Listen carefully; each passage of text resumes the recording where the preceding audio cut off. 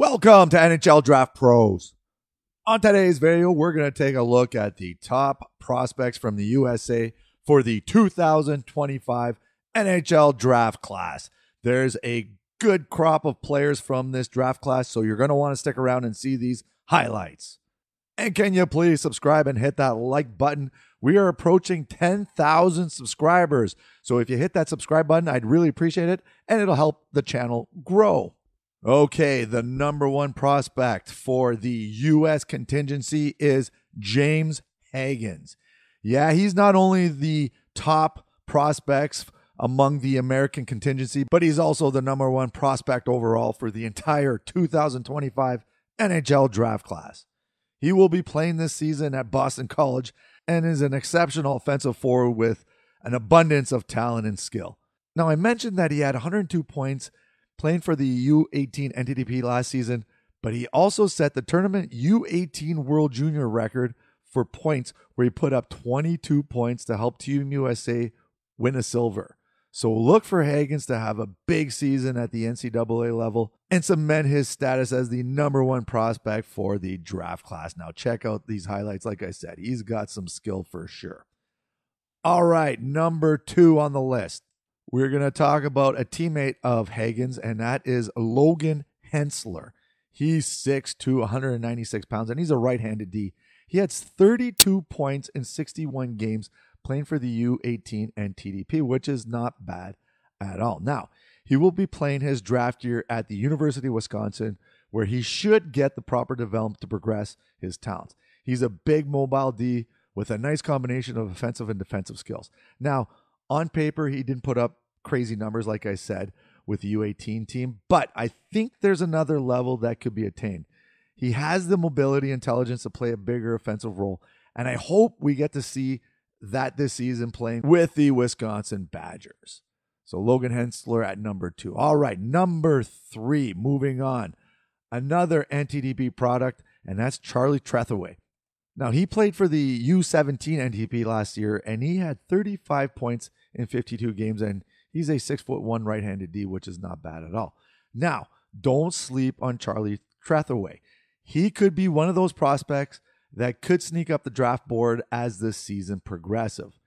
Trethewey is, like I said, six one, and he's a right shot D, which the NHL love. And he has some sneaky good skill set and also a booming shot from the point, as you'll see from these highlights. Now, he led the NTDP U17 team in points for defense. Now, check out this cannon from the point, though. Like the kid can rip a puck, and he's got a little bit of mobility too from the point. So, you know what? You like to see that in D. And I hope that this year at the U18s, I hope he has a pretty big season. That'll be really good for him and his draft class. All right. Number four, William Moore, another NTDP product. And last year, playing for the U17 team, he had 35 points in 52 games, which is not bad for a young player. Now, Moore is another prospect that could potentially climb up the draft board depending on how his season plays out with the U18 NTDP. But he also has some sneaky good skill. He's a good shooter, good passer, has some nice hands too. And you'll see this, is uh, him in front of the net there. He just picked it up and roofed it over the goalie's shoulder there. So you kind of see his skill set, especially in tight like that. So I'm hoping to see some nice development for Moore this season. And he's pretty big, like I said, six foot two. So, you know, they take a little bit longer to develop. And I'm thinking that he's going to, I think he'll have a pretty good season this year for the U18 NTDP. Now, this one here is a pass. You're going to see him right at the top there. He gets his puck and he brings it into the zone and then he makes a nice little pass right there. So you see the skill set and the smarts in this clip here. So we got William Moore at number four. All right, number five. Now this one, it could have went either way, but I went with Adam Benak. Now he is just a small little centerman. He's five foot seven, 156 pounds, and last year playing for the U20 in the U20 Czech League, he had 29 points in 29 games, which is really good. Now the thing is, is that he came into the Hlinka Gretzky and he absolutely torched it. And so he's going to be playing for the Youngstown Phantoms in the USHL this year. So we're going to want to keep an eye on him. Like I said, he's he's small, but he's got some crazy skill. And so at the Hlinka, like I said, he had 11 points in five games. And look at that. Look at that little sneaky move in tight here, right? So you can see the hands already.